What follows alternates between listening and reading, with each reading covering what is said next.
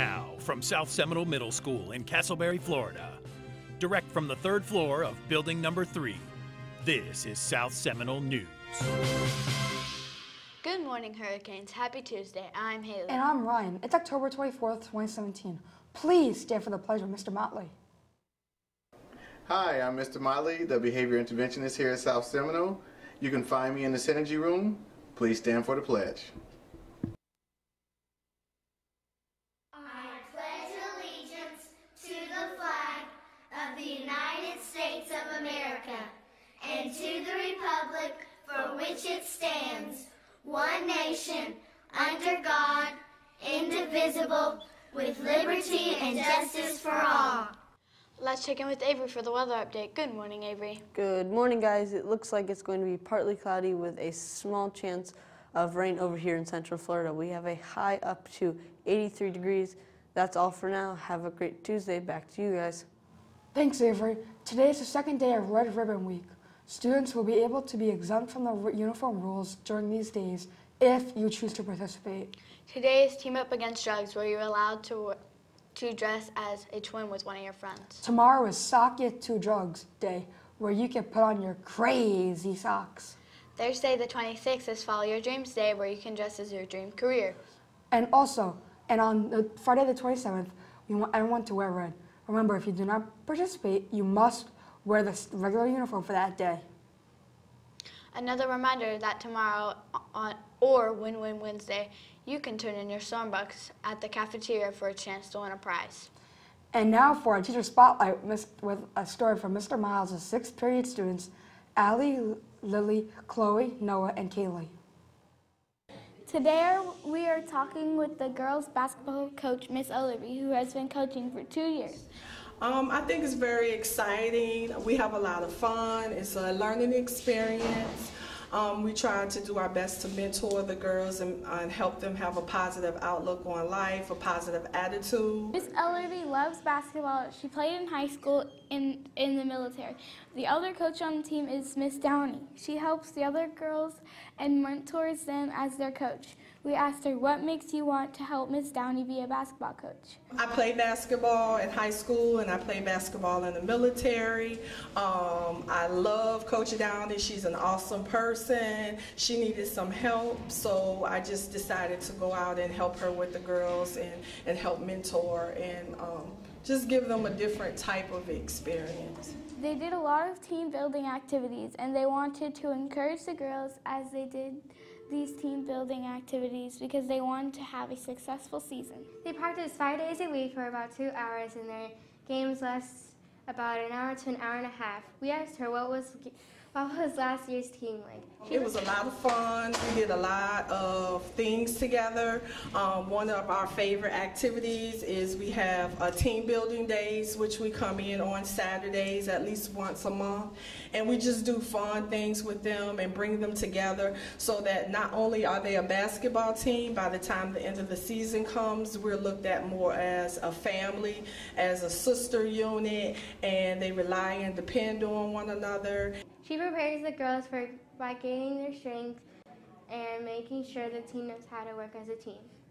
We do a lot of running and push-ups. Uh, we do a lot of skills development drills, but uh, most importantly, we understand that regardless of what you teach them, if there's no chemistry and they don't play as a team, because basketball is a team sport, not an individual sport, then everything you teach them will go to the wayside. This is what Miss Ellerby does with her team, and we hope she has a great season. Reporting from the third floor of Building 3, Kaylee and Chloe, South Seminole News. Thanks. Look for more teacher spotlights in the near future right here on SSN. Teachers, if you are still in need of a recycle box, the Lighthouse students can get one out to you. Please contact Ms. Orozco and she will provide one for you and your classroom to use. The Lighthouse students pick up recycling items during first period, so please leave them outside your classroom during that time. On November 14th, SSMS will have the Seminole County Teach in 2017. Attention parents, community members, and friends. We are looking for volunteers to teach at least one class in this community-wide effort. The teacher is a perfect opportunity for parents and business leaders to talk to students about the community around them. Please talk to Ms. Bafus if you have any questions or potential guest speaker ideas. We're going to take a quick commercial break. We'll be right back after this.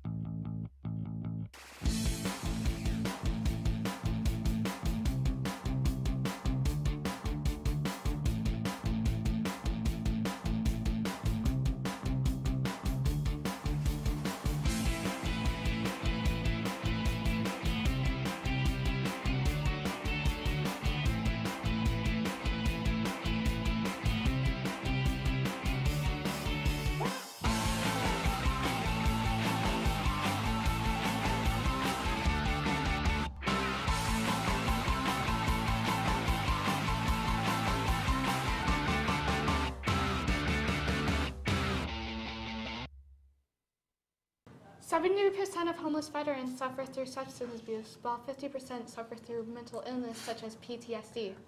Nearly 10 million veterans are over the age of 65, and 12% of them make up the homeless population. There are almost 40,000 homeless veterans in the USA. We would like to raise awareness and acquire blankets or money to those in need. Please turn in by the 25th to Ms. Ellerby in room 224A. Thank you. Welcome back. We just ran a commercial for a very special cause that we want to repeat for you again. Miss Ellerby is collecting spare blankets to give out to the homeless veterans and to raise awareness for those in need. Please drop off blankets or any financial donations to room 224A by October 25th to Miss Ellerby's class. Attention students and teachers. On October 26th after school, we will have the Fall Festival. Students are $3 and adults are 4 Please pick up permission slips in, from Mr. DeJesus in room 204. And now we take you back to Avery for the daily report. Hello, Avery. Good morning, guys. Today's lunch special is hard or soft tacos with a tortilla chips and black beans. The school uniform for Wednesdays uh, on October 24th it will be South Seminole skirts, shirt, skirt, khaki pants, or a or legging um skirt. a reminder to girls: no, you cannot wear leggings without them being under black khakis, mid thighs, shorts, or a skirt. Also, students, you can only wear jeans on Friday. There are no exceptions. Teachers should report any uniform issues to Mr. Motley. Remember, Red Ribbon Week continues tomorrow. If you don't dress up with your crazy socks, you must be in uniform. That's all for now. Back to you guys. Thanks, Avery. Finally, today on Monday the 30th, there will be cross-country practice from 4 to 5 p.m. Please see Mr. Runcan to pick up your physical forms in room 240. That's all for today. Make sure you check us out on Instagram and YouTube at South Seminole News. And don't forget to subscribe. Also, please like the South Seminole Middle School and PTSA Facebook pages for more info. Thanks for watching, everyone. I'm here. And I'm Ryan. Have a great Tuesday. And, don't, forget, to storm.